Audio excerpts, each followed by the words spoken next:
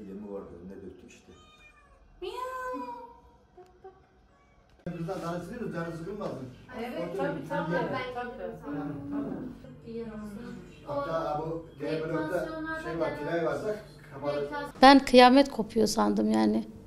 İkisini de yaşadınız. Tabii ki evet evet çünkü benim oğlum otizmle e, hani o oyun sanıyor, gülüyor, eğleniyor. Hani onu oyun sandı. Hani tehlikeli bir şey olduğunu, ölürüz onu bilmediği için. Yani kötü, dehşet bir şeydi. Hmm, Rabbim hepimizin yardımcısı olsun. Yani bu işler hepimizin başına gelecek. Korkarak çıktık evden. Kızım işte internetten baktı işte hani Trabzon'da deprem olmaz. Çünkü çok etkilendi. Aşırı etkilendi. Yani normal bir etkilenme değil. Hala böyle uykuda sıçrayıp bağırıp ağlıyor. Ee, ondan sonra işte şey e, burada e, internette Trabzon sayfası ne kadar varsa hepsine yazdık Instagram'da. Çok dönüş oldu bize. Allah razı olsun. Hiç beklemiyorduk. Hele de Trabzon halkından. Gerçekten çok samimi, çok sıcak insanlarmış. Çok hassas davranıyorlar kırılmamamız için. Yani e, mükemmeller ya öyle diyeyim size. E, geldik işte sağ olsunlar telefonla görüştük. E, bize yer temin ettiler işte. Burada bir e, arkadaşımız daha var. O da Trabzonlu. Malatya'da 7 yıl görev yapmıştım. Benim iş yerimle karşı karşıya oturmuştuk. 7 yıl komşuluk yaptık.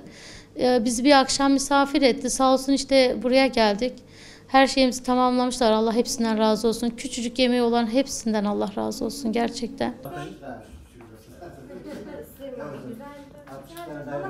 Benzin bulduk bir şekilde çıktık Sivas'a gittik. Sivas'ta da deprem olmaya devam etti. Ve benim kardeşim otizmle yurtta da durmadı maalesef. Tekrar Malatya'ya döndük biz. Malatya'ya döndüğümüz an yine bir depremle karşılaştık. Ben de o an sosyal medya aracılığıyla direkt e, baktım hani nerede deprem olmuyor. Trabzon benim ilgimi çekti. Hemen e, sosyal medya aracılığıyla bulduğum her yere yazdım. En son sağ olsun e, biri bizimle iletişime geçti. Ee, biz de ona söyledik gelmek istediğimizi, hani bir ev ortamı aradığımızı söyledik. Ee, babamla görüştüler, sağ olsunlar çok da yardımcı oldular. Geldik buraya, 2-3 gündür de buradayız. Ya hiçbir konuda bizi mağdur etmediler, asla utandırmadılar. Hep böyle senelerde tanıyormuşuz gibi bize çok yardımcı oldular.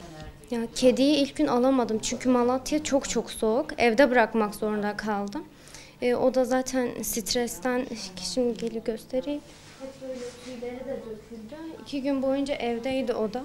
Hep tüyleri döküldü evde bırakmak zorunda kalınca. Sonra tekrar eve girdik. Dedik hani bir an eşyalarımızı alalım hemen çıkıp gidelim. O şekilde çıktık evden. Kedimi de zaten bırakamazdım orada. Burayı tadilat edip eşyaları falan hani sakinler karşılayacak masrafını. Hemen hemen bütün sakinlerimizin hepsi de kabul etti ve hızlıca e, buranın tadilatı yapılıp depremzedelerimizi buraya getirttik.